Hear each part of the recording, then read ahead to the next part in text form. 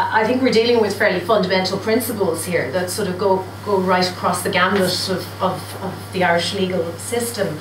Um, we, however, do now have an administrative sanction regime with the with the FR. Um, there are investigations in relation to Anglo-Irish um, and uh, other uh, events uh, uh being uh, carried out. One hopes that it's carried out with proper um, uh, with a proper look at procedure. Um, I'll share one little story about how difficult this is. We had a case many years ago. The company is since gone, so I suppose I can talk about it, where basically they issued something to shareholders without any uh, approval. Um, uh, the company was an acquisitive company, they knew exactly what they were doing. They, they just issued it to shareholders because they didn't like what the stock exchange was asking them to do.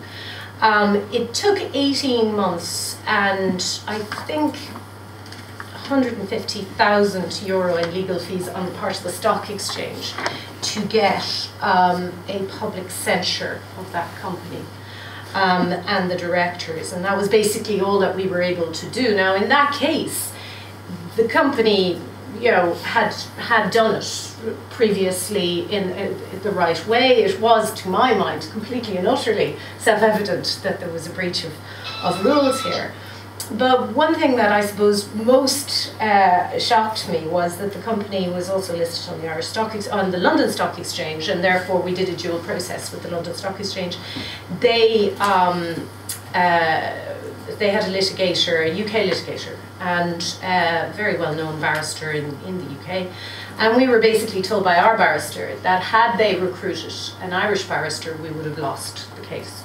And the reason we would have lost the case is because the concept of natural justice in Ireland, and therefore, the, and there was a some some perception of a flaw in the due process, you know, in that case. So you know, that's the reality of life if you're in the regulatory business. And if you don't, uh, if you, you know, and I think that it has to be looked at. I think it already has changed because we're in administrative sanctions. I don't think, for instance, that the financial regulator will be quite as constrained as we were back then.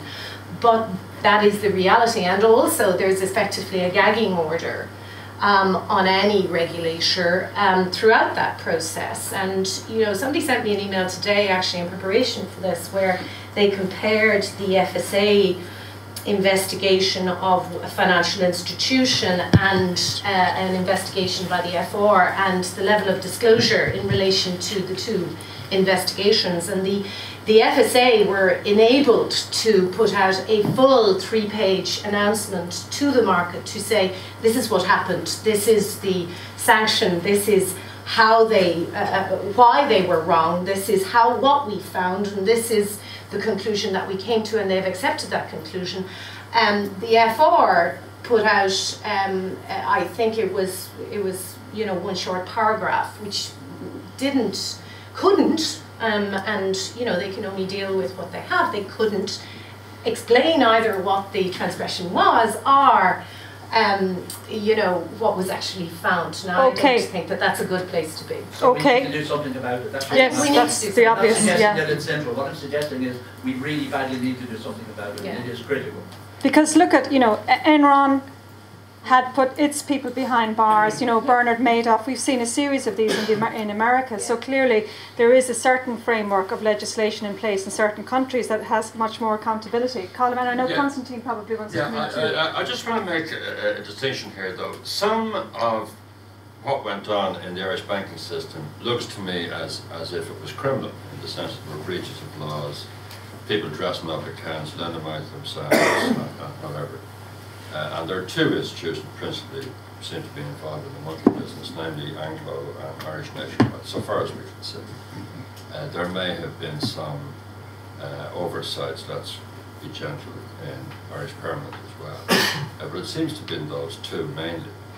They are being investigated by the Office of the Director for Corporate Enforcement. Now, uh, in the Irish system, uh, you can't just tap fellas on the shoulder, put handcuffs on them and send them in jail uh, as, as a photo opportunity for the press. Uh, it may well be the case that there will be criminal prosecutions in due course, and that process in, is in train. I'm not a lawyer, I don't understand the ins and outs of it, but it's in train. There's a separate issue though.